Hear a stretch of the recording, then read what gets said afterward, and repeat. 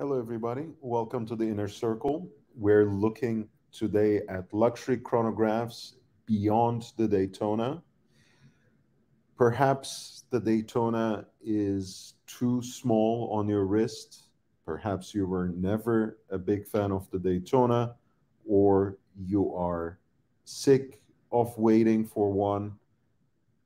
You feel like you will never be allocated one you feel that your chances are even slimmer now that the new lineup has been introduced, now that the model has been revised, or perhaps you just don't like the revisions that have been made.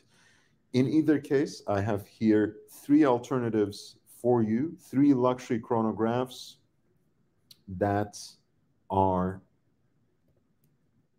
significantly different to the Daytona, but they all have something going for them, not only in terms of uh, their design and aesthetic, but I think also in terms of functionality, in terms of wearability, and in terms of simply a certain coolness. We will start with with the Blancpain 50 fathoms flyback chronograph. This piece actually comes in the 45 millimeter case uh, that has so far served 50 fathoms well, even though they shrink it once every so often to a smaller size for certain limited editions. Um, but there is something about that oversized, larger than life proportions of the 50 fathoms that makes it really special. And in this case, I think it just feels right in terms of the chronograph functions. This piece is also a flyback chronograph more akin to type 20 than say the Rolex Daytona or even the Speedmaster. It's on sailcloth, which I think matches this genre of the watch really well. I love that sapphire bezel that's really thick and substantial. I love the obelisk hands. This watch has a lot of character, a lot of lume, as you can see in this luminous signature. I have a couple of elements that I always nitpick, but these are very much personal points. I do not like a date on my chronograph, uh, especially a small date you can't read it anyways. Why interrupt the aesthetics of the dial? But most importantly, um, what I don't like about this is how oversized these two registers are for the 30 minute totalizer and the 12 hour counter and how small comparatively the continuous running seconds remains. But other than that, I really love how this watch looks. I love how it combines two very important genres of the sport watch in one gorgeous, enormous package. This is the Blancpain 50 fathoms flyback chronograph. Could be yours at the fixed price of 10,318 in US dollars. It is listed by a professional dealer out of Hong Kong at Chrono 24. We are gonna go to a little bit of an uncharted territory here. You know that I hunt for deals for you anywhere and everywhere. Uh, and here we are on the consignment store, the Real Real. for the previous generation of the overseas. Um, as it happens, this is actually based on the same movement as the Blancpain 50 fathoms flyback chronograph we were looking at. Uh, Vacheron Constantin calls it 1137, but this is actually built on the base of that same uh, Frédéric Piguet 1185 movement.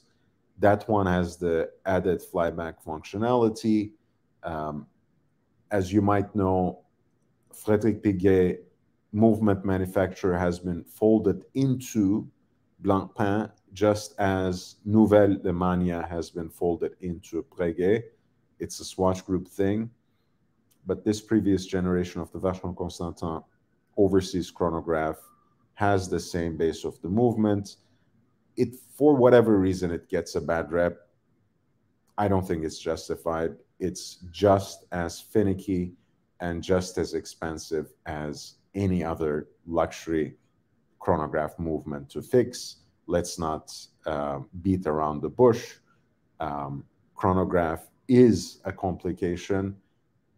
The bill can run up pretty fast, even in your local watch, even at your local watchmaker, unless we are talking about the ubiquitous movements like the Valjoux 7750 or ETA 2824-2 uh, chances are you will end up 90% of the time, and whatever I say, sending it to the manufacturer, sending it to uh, the company through the author authorized dealer, and you will end up paying through your nose anyways. But all of that being said, I think this is a great movement. I really like the modification they did here, which uh, was quite common actually in having a big date, uh, two guichet oversized display at 12 o'clock. That for me is a little worthier.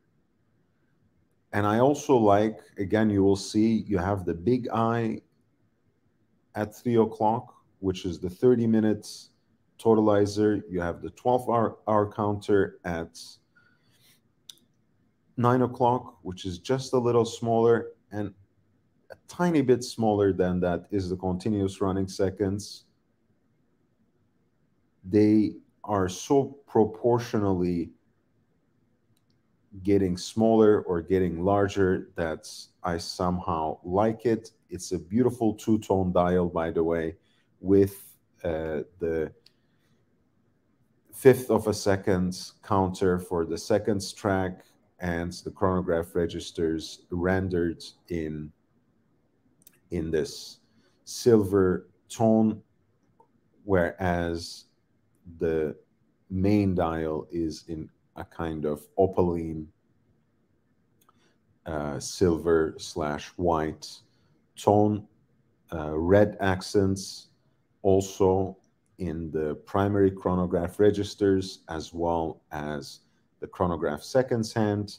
This piece comes on a rubber band, on a proprietary Vacheron Constantin blue rubber band with uh, Vacheron Constantin déployant buckle.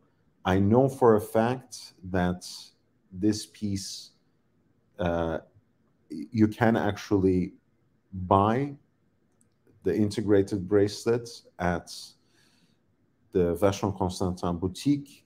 So if that is an option you want to seek out, it is there for you. I think these watches look actually even better on the strap, but that might be my own prejudice, so don't judge me. Uh, in either case, I think this is a beautiful watch, self-winding, luxury chronograph with big date display at 12, uh, which has the option of the integrated bracelet, but looks extremely handsome on a rubber strap. And it is also anti-magnetic, very charismatic with the two-tone dial and the red accents. Beautiful set of sword hands for the hours and minutes. This piece is listed at the real real for right around $17,000, $17,095.50 to be specific.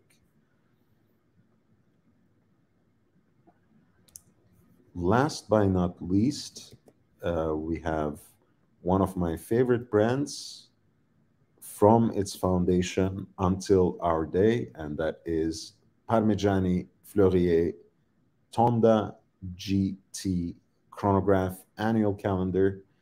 This is the version that is the silver panda. As you can see, almost unmistakably, we have a very similar design here uh, in the sense that you have a dial that is an opaline white with radial guilloche on the minute track, a pyramidal guilloche design on the center of the dial, beautifully silver chronograph registers with 30 minute totalizer at 9, 12 minute counter at 6, and a kind of dashboard style continuous seconds at 3 o'clock, which integrates the display for the month. As you probably heard, this is an annual calendar. So, in fact, you have the month and the date. And you only need to adjust it, you only need to correct it once. You have skeletonized alpha hands, uh, which I hope increase legibility, uh, but I wouldn't hold my breath. Uh, maybe you'll have an easier time reading the chronograph registers, but for a lot of us, they're so damn small, anyways. Um, this remains, by the way, the same in terms of being served on the rubber strap, which I think is very beautiful and very comfortable and very out of the ordinary for the stainless steel chronograph when it comes to the luxury realm. But once again, you have the option to actually acquire the integrated matching stainless steel bracelets from your authorized dealer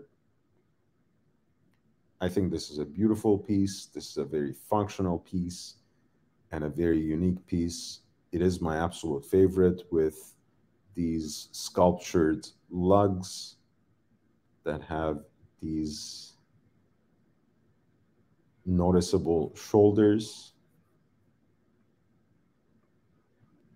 And of course, the fluted bezel that has become kind of visual signature of the Parmigiani Fleurier in uh, this day and age. Very, very beautiful piece.